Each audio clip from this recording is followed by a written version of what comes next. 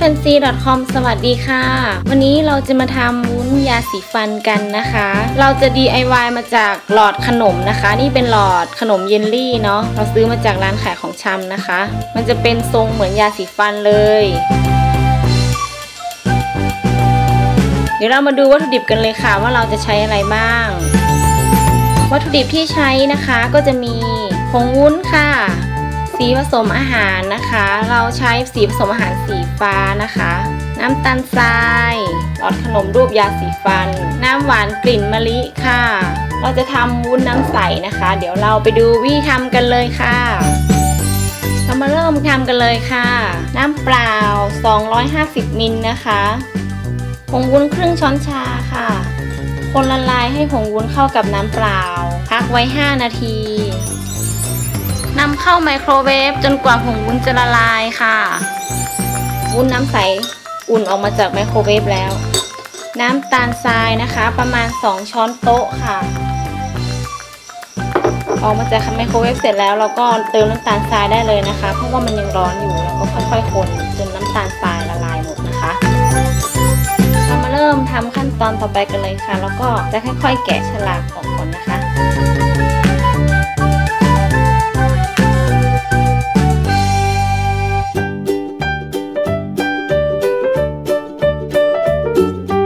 ส่วนหัวนี่เราไม่เอาก็ได้นะคะ เราก็ตัดทิ้งก็ได้ เราจะห่อแค่ตรงปลายหลอด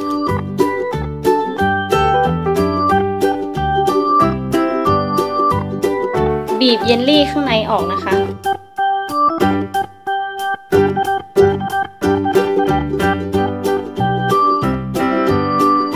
เสร็จแล้วเราก็นำไปล้างทำความสะอาดนะคะ เดี๋ยวเราก็จะมาทำขั้นตอนต่อไปกันค่ะ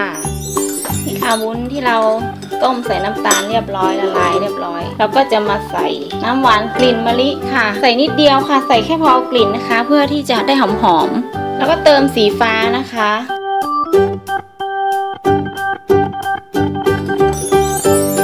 หลอดยาสีฟันหลอดขนมของเราล้างทำความสะอาดเรียบร้อยแล้วนะคะ ดูมันจะเล็กแล้วก็หากระบอกฉีดยาค่ะซิลิงนะคะ นี่ แล้วก็มาดูด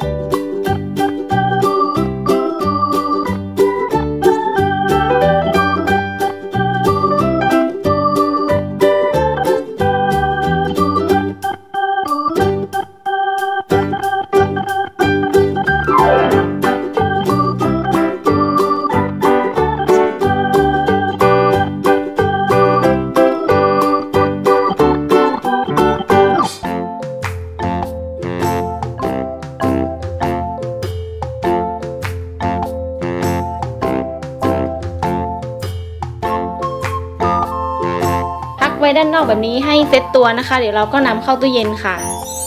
เราก็จะแช่ตู้เย็นไว้ประมาณครึ่งชั่วโมงนะคะ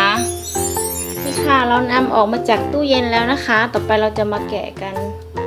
เราจะตัดด้านล่างนี้ออกนะคะใช้กรรไกรตัดเลย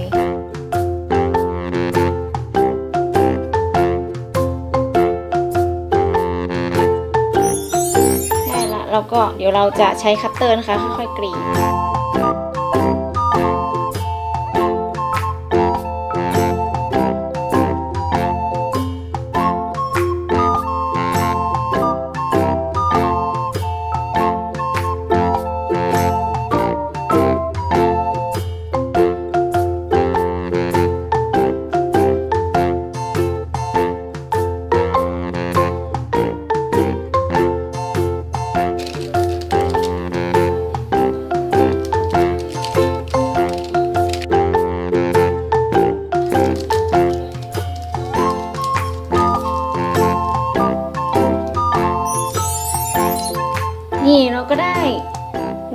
สีฟันเจลนะคะของเรากินได้นะคะ เดี๋ยวเราจะลองมาหากันดูนะคะ